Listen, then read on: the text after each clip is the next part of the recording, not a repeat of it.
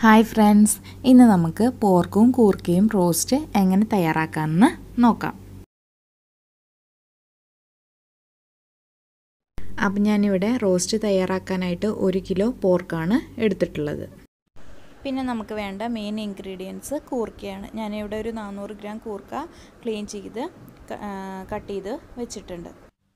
ആദ്യം നമുക്ക് പോർക്ക് ഒന്ന് വേവിച്ചെടുക്കണം. അതിനായിട്ട് ഞാനിവിടെ ഒരു കുക്കർ എടുത്തിട്ടുണ്ട്. അതിലോട്ട് നമ്മൾക്ക് പോർക്ക് ഇട്ട് കൊടുക്കാം. പിന്നെ നമ്മൾ ഇതിലോട്ട് സവാള ചേർത്ത് കൊടുക്കുകയാണ്. ഞാനിവിടെ ഒരു മൂന്ന് സവാള സ്ലൈസ് ചെയ്ത് എടുത്തിട്ടുണ്ട്. അത് ഇട്ട് കൊടുക്കും. പിന്നെ നമ്മൾ ഇതിലോട്ട് ഇഞ്ചി വെളുത്തുള്ളി ചതച്ചത് ചേർത്ത് കൊടുക്കുകയാണ്. ഞാനിവിടെ ഒന്നര ടേബിൾ സ്പൂൺ ഇഞ്ചി വെളുത്തുള്ളി ചതച്ചത് ചേർത്ത് കൊടുക്കുന്നുണ്ട്.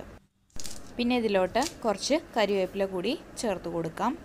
അതേപോലെ ഒരു രണ്ട് മുളക് നടുക് കീറിയത് കൂടി ചേർത്ത് കൊടുക്കാം. ഇനി ഇതിലോട്ട് നമുക്ക് പൊടികൾ ആഡ് ചെയ്ത് കൊടുക്കാം. ഒരു കാൽ ടീസ്പൂൺ മഞ്ഞൾപ്പൊടി ആഡ് ചെയ്ത് കൊടുക്കുകയാണ്. പിന്നെ ഇതിലോട്ട് രണ്ട് ടീസ്പൂൺ മല്ലിപ്പൊടി കൂടി ആഡ് ചെയ്ത് കൊടുക്കാം.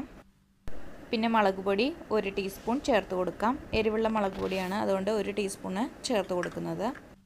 പിന്നെ ഇതിലോട്ട് ഒരു ടീസ്പൂൺ കുരുമുളക് പൊടി കൂടി ചേർത്ത് കൊടുക്കുക. കുരുമുളക് പൊടി കുറച്ച് മുന്നിട്ട് നിൽക്കണം.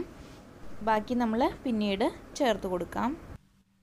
പിന്നെ ഗരം മസാല ഒരു അര ടീസ്പൂൺ ചേർത്ത് കൊടുക്കാം. പിന്നെ ഇതിലോട്ട് ആവശ്യത്തിന് ഉപ്പ് കൂടി ചേർത്ത് കൊടുക്കാം. ഇനി നമുക്ക് ഇത് എല്ലാം കൂടി നന്നായിട്ട് കൈകൊണ്ട് തന്നെ നന്നായിട്ടൊന്ന് മിക്സ് ചെയ്ത് ചേർക്കാം.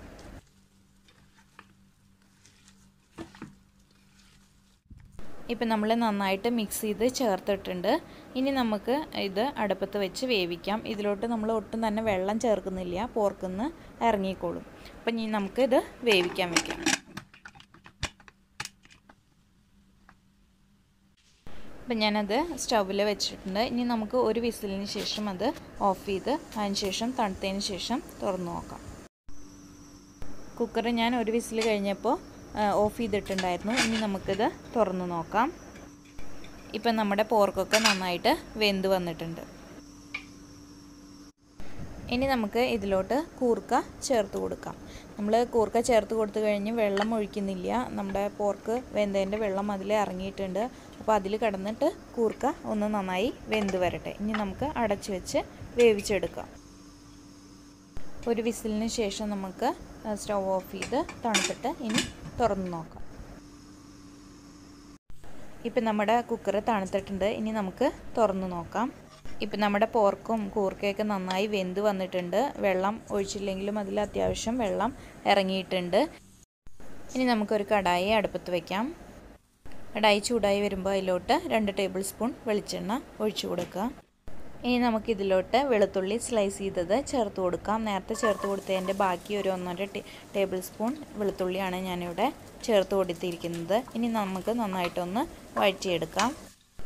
ഇനി നമ്മൾ ഇതിലോട്ട് ചെറിയ ഉള്ളി നെടുകെ കീറിയത് ഇട്ട് കൊടുക്കുകയാണ് ഒരു പത്തിരുപത്തഞ്ച് ചെറിയ ഉള്ളി ചേർത്ത് കൊടുക്കുന്നുണ്ട്.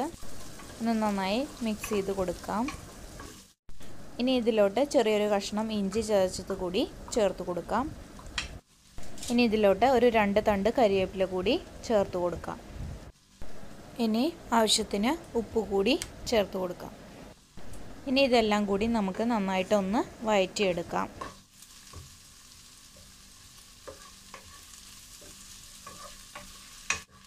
ഇപ്പോൾ ഉള്ളിയൊക്കെ നന്നായിട്ടൊന്ന് വഴഞ്ഞ് വന്നിട്ടുണ്ട്. ഇനി നമുക്കിതിലോട്ട് പൊടികൾ ആഡ് ചെയ്ത് കൊടുക്കാം. ഒരു കാൽ ടീസ്പൂൺ മഞ്ഞൾപ്പൊടി ആഡ് ചെയ്ത് കൊടുക്കാം. ഇനി ഈ മഞ്ഞപ്പൊടിയുടെ പച്ചമണം മാറുന്നവരെ ഒന്ന് വഴറ്റിയെടുക്കാം. ഇനി നമുക്ക് ഇതിലോട്ട് മുളക് പൊടി ചേർത്ത് കൊടുക്കാം.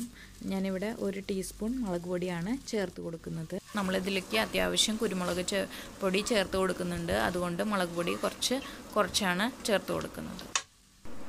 ഇനി ഇതിലേക്ക് മല്ലിപ്പൊടി ചേർത്ത് കൊടുക്കാം. ഞാൻ ഇവിടെ രണ്ട് ടീസ്പൂൺ മല്ലിപ്പൊടിയാണ് ചേർത്ത് കൊടുക്കുന്നത്. ഇപ്പം മല്ലിപ്പൊടിയുടെ പച്ചമണമൊക്കെ മാറിയിട്ടുണ്ട്. ഇനി നമുക്കിതിലോട്ട് ഗരം മസാല ചേർത്ത് കൊടുക്കാം. അര ടേബിൾ സ്പൂൺ ഗരം മസാല ചേർത്ത് കൊടുക്കാം. ഇനി നന്നായിട്ടൊന്ന് മിക്സ് ചെയ്ത് എടുക്കാം. ഇനി നമ്മൾ ഇതിലോട്ട് ഒരു ടേബിൾ സ്പൂൺ കുരുമുളക് പൊടി കൂടി ചേർത്ത് കൊടുക്കാം.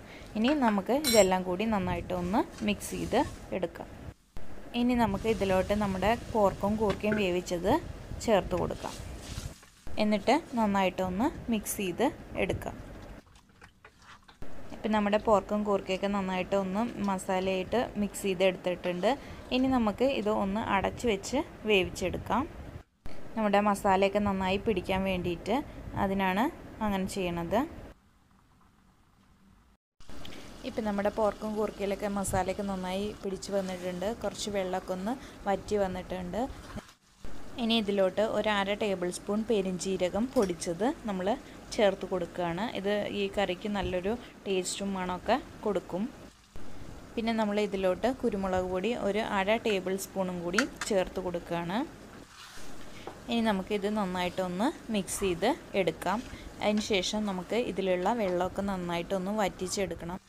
ഈ സമയത്ത് ഉപ്പൊന്ന് ചെക്ക് ചെയ്തിട്ട് വേണമെങ്കിൽ ഒന്ന് ചേർത്ത് കൊടുക്കാം. ഇപ്പം നമ്മുടെ പോർക്കിലത്തെ വെള്ളമൊക്കെ ഒന്ന് വറ്റി വരാൻ തുടങ്ങിയിട്ടുണ്ട്.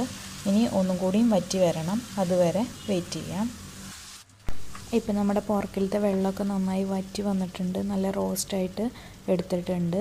ഇത്രയും മതി. ഇനി നമുക്കിതിലോട്ട് കുറച്ച് കരിവേപ്പില കൂടി ചേർത്ത് കൊടുക്കാം. ഇനി നമുക്ക് ഇതെല്ലാം കൂടി നന്നായിട്ടൊന്ന് മിക്സ് ചെയ്തെടുക്കാം. അതിനുശേഷം സ്റ്റൗ ഓഫ് ചെയ്ത് വാങ്ങി വയ്ക്കാം. അപ്പോൾ നമ്മുടെ ടേസ്റ്റി ആയിട്ടുള്ള പോർക്കും കൂർക്കയും റോസ്റ്റ് റെഡി ആയിട്ടുണ്ട്. എല്ലാവരും ട്രൈ ചെയ്ത് നോക്കൂ. എല്ലാവർക്കും തീർച്ചയായും ഇഷ്ടപ്പെടും. അപ്പോൾ വീഡിയോ എല്ലാവർക്കും ഇഷ്ടമായെന്ന് വിചാരിക്കുന്നു. ഇഷ്ടമായെങ്കിൽ ലൈക്ക് ചെയ്യുക നിങ്ങളുടെ അഭിപ്രായങ്ങൾ കമന്റ് ചെയ്യുക അതേപോലെ ഷെയർ ചെയ്യുക. നിങ്ങൾ ആദ്യമായിട്ടാണ് കാണുന്നതെങ്കിൽ ഒന്ന് സബ്സ്ക്രൈബ് ചെയ്തേക്കുക. അപ്പോൾ നമുക്ക് പുതിയൊരു വീഡിയോ ആയിട്ട് ഇനിയും കാണാം.